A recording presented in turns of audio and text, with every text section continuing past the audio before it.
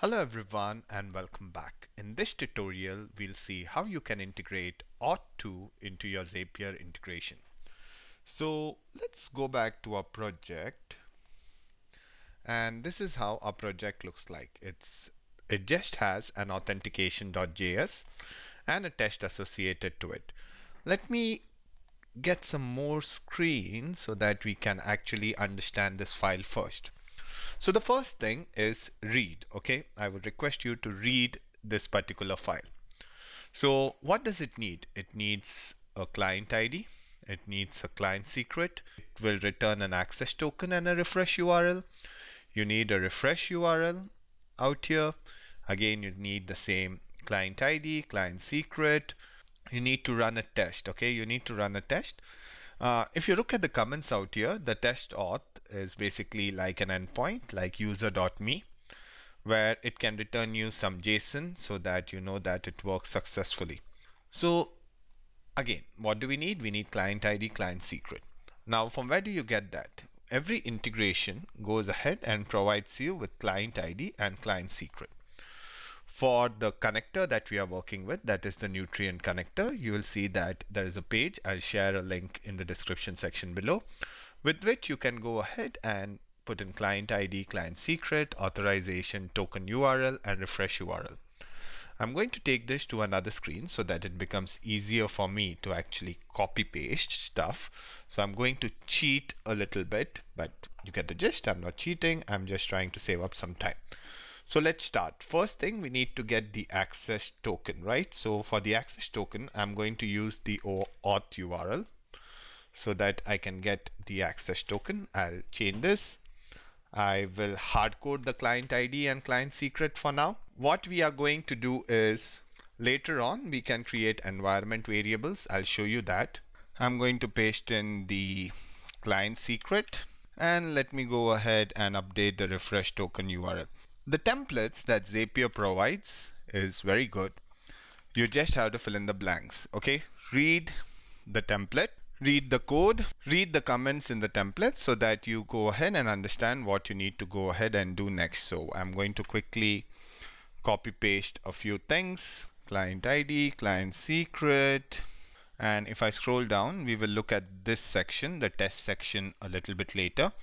Uh, we need to fill in more blanks. As you see, OAuth2 is web authentication. So we need to go ahead and actually provide the authorization URL as well. I'll paste it in.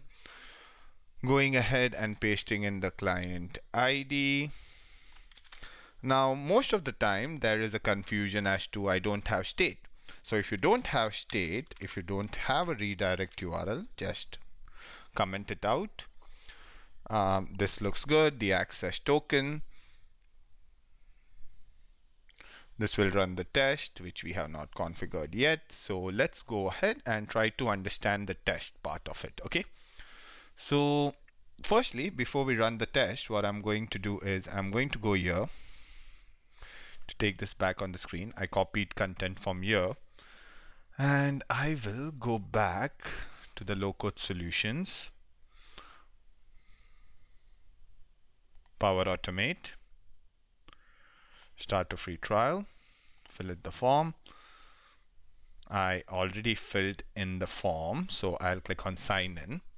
I'm going to type in my creds.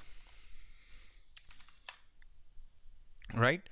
Uh, it shows the subscription ID, etc., etc. So if you see, I authorized myself into it. Tell you. So this has to be a similar process in our Zapier. Like we go in, sign in, and once you sign in, what should happen?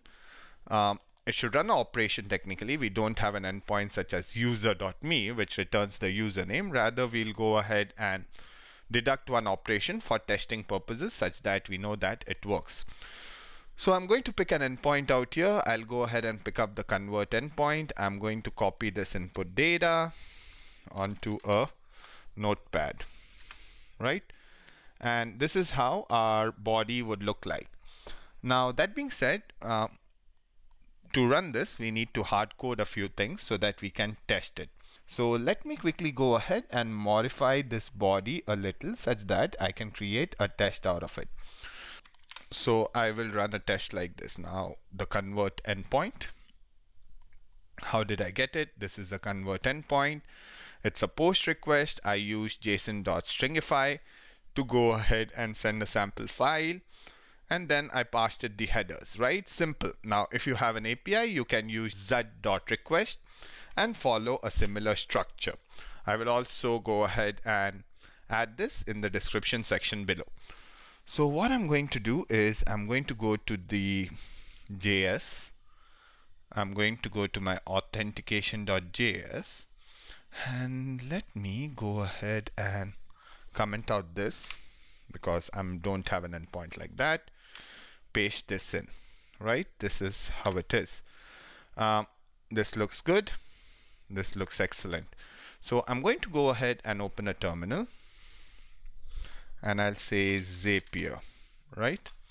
Say Zapier. And I'll say Zapier.build so that I can actually create a pushable solution. So Zapier space build. If there are errors, it will go ahead and show me the errors. It tells me I did not run npm install. I should have done that initially, but that's fine. I can run npm install. It will install all the packages that I need.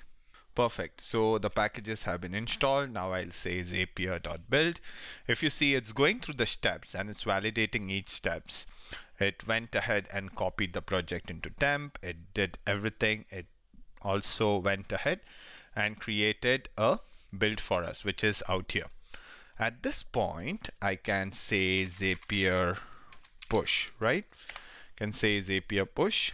It goes ahead and gives me an error which is actually a warning. And it tells me to say Zapier register. Right? If you have an existing project you can link to it.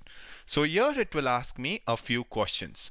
What is the title of your integration? So I'll say nutrient document converter please describe it in less than 140 words. So let me take some help from the Swagger. I'll just copy this line, paste it in. What is the home page, which is optional, but I know. So I'll just say I'm using nutrient. So I'll say nutrient.io low code. This is what I want. The URL is there. I will say it's public. If you want to make I'll say it's private uh, not public. I just don't want to publish it to everyone. Want to do that. I'm employed by Nutrient so that's good. Uh, what is this app about? This app is about content management.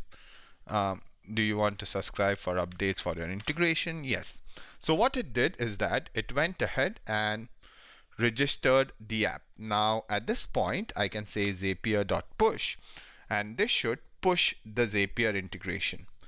Um, so let me go back. So I have my Zapier out here. Quickly check my integrations. So it takes me to the developer platform. And here you see, my friends, I have the Nutrient document converter integration that I just went ahead and created.